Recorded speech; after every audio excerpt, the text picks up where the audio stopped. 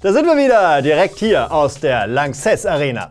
Äh, ach so, und Ein gesundes, erfolgreiches neues Jahr für alle meine Unterstützer. vielen Dank. Und ja, der Fenchelführer ist auch noch da. Also in der Türkei.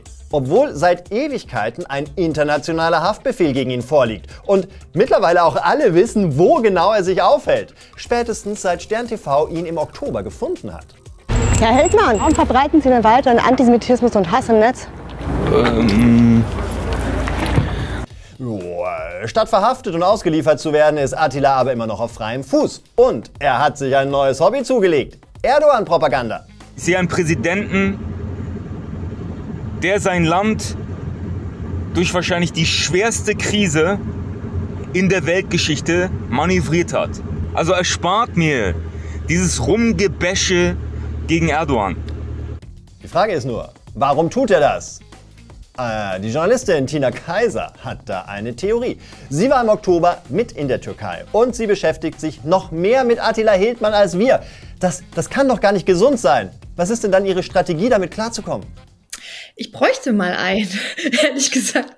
Ich habe keine entwickelt. Wie Attila jetzt sogar Werbung für Impfstoff macht und warum Attila vielleicht sogar einen Deal mit Erdogan hat. Jetzt.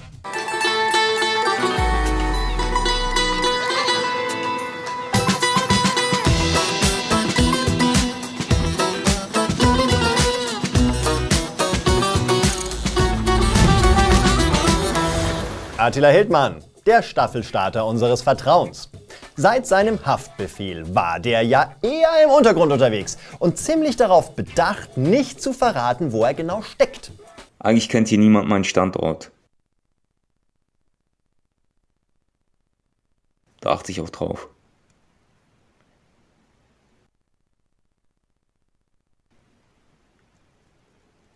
Ich gehe aus dem Haus, Ja, das waren die Originalpausen, die er gemacht hat. Und damit löst Attila endlich das Content-Versprechen ein, das Disneys große Pause niemals halten konnte.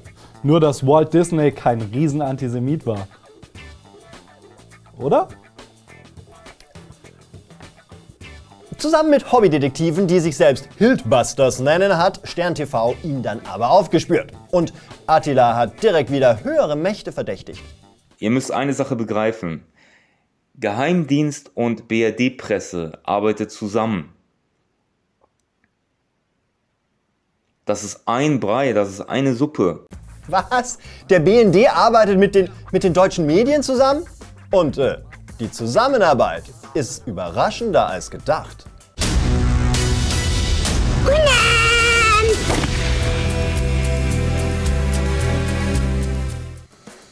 Attila ist also entdeckt. Ihm ist dann auch direkt ein bisschen die Düse gegangen. Ich werde Schutzmaßnahmen einleiten. Hier sind auch diverse Stellen informiert und hier haben die nichts zu melden. Hm, Wir haben diese Schutzmaßnahmen denn wohl ausgesehen. Gut, hier sein großdeutsches Kleinod in der Türkei. Und was für Schutz... Ah, eine sehr gute Schutzmaßnahme. Bei der Verfolgungsjagd mit dabei Sternreporterin Tina Kaiser. Sie hat es geschafft, ihn gefunden und Attila direkt vor Ort erlebt. Ich würde sagen, er wirkte wie ein einsamer Mann, der äh, zu lange alleine wohnt und zu viel Zeit unbeaufsichtigt im Internet ähm, verbringt. Gut, er lebt also versteckt in der Türkei. Ja, aber auch nein. Denn kurz darauf gab es dann eine komplette Wende bei Attila. Statt sich in eine andere Stadt abzusetzen, ist er einfach da geblieben und gibt sich seitdem betont entspannt. Basiert ist da oben. Da kann man bald Skifahren. Jetzt regnet es ein bisschen, aber bald mache ich euch mal einen kleinen Bericht da von der Skipiste. Wir laufen hier gerade unsere Nachmittagsrunde. Akira, hm? Nicht löch. Und die äh, Bild titelte 9% Übersterblichkeit im BRD-Gulag. Wilder Ritt, den Attila da hinlegt. Erst Skifahren und schön den Alltag beschreiben, dann rumschwurbeln. Was für eine bizarre Kombination. Ich fühle mich gut. Ich bin genug. Umarmt eure innere Heiligkeit und vergesst nicht.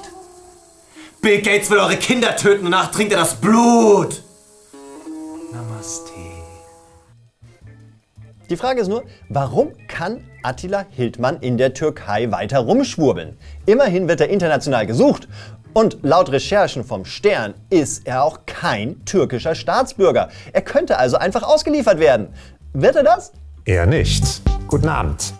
Warum das so ist, erzähle ich euch gleich. Aber abgesehen davon, hey Attila, so viel Stress jetzt wegen dem Sternbesuch, hättest du, den hättest du doch was anderes erzählen können. Herr Heldmann, warum verbreiten Sie denn weiter Antisemitismus und Hass im Netz? Äh, ich bin der Armin Hildmann. Der Adi ist mein Cousin.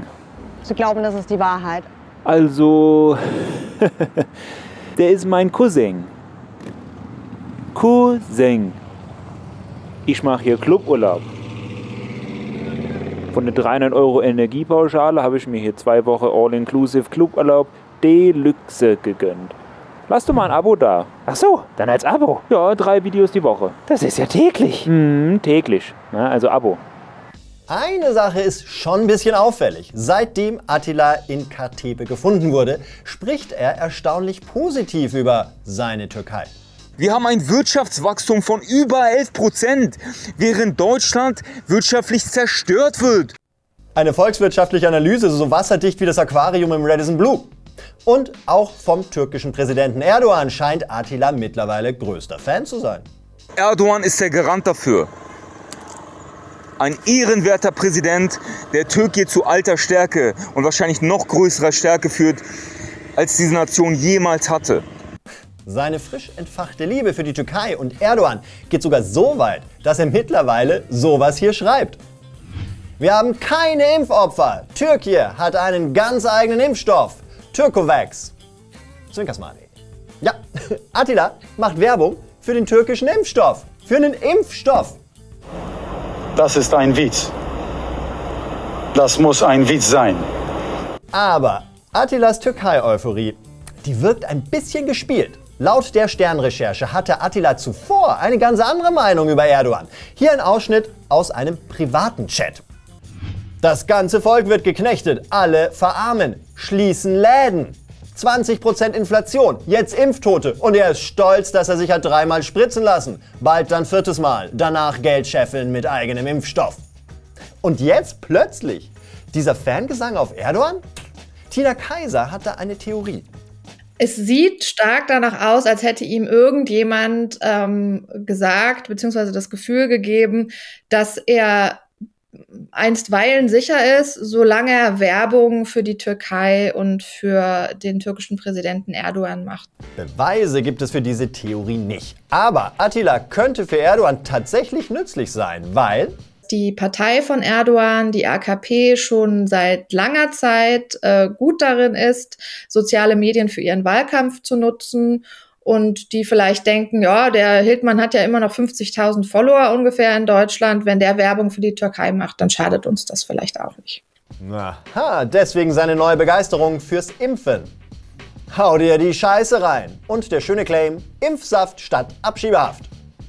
Aber, ob Deal oder nicht, Attila scheint sich in der Türkei tatsächlich sicher zu fühlen. Wir haben euch deshalb gefragt, wie man ihn nach Deutschland zurücklocken könnte. Mit einer Kochshow auf Auf 1 schlägt Corby Deck SC vor. Und äh, Kochen beim Schwurbelsender, coole Idee. Was gibt's denn da? Königsberger Bekloppte? Entschuldigung. Und nochmal. Die genauen Motive hinter Attilas Erdogan-Werbung kennen wir nicht. Aber in der Türkei stehen dieses Jahr Wahlen an und Erdogan kann jede Hilfe gebrauchen. Vielleicht sogar die Hilfe von Attila Hildmann. Weil die anstehende Wahl, so viel ist klar, wird kein Selbstläufer für Erdogan. Die Stimmung ist aufgeheizt, der starke Mann steckt in einem nie dagewesenen Umfragetief. Hm, und Markus, was meinst du dazu? Oh, Philipp, ich bin einfach nur froh, dass wir wieder da sind und keine Ziegenbitze gemacht haben. Auf das Gemeckere, darüber hätte ich nämlich keinen Bock.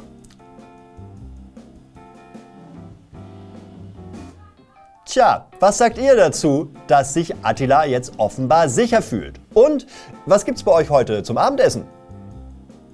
Etwa. BRD-Gulasch. In ein gutes BRD-Gulasch gehört auf jeden Fall eins rein. Ein Abo bei Valulis Daily. Hier drücken und dann nach Gusto abschmecken mit einem Like unter dem Video. Hier einfach weiter gucken und darunter gibt's von Crisis, wo deutsche Waffenexporte landen. Bon Appetit!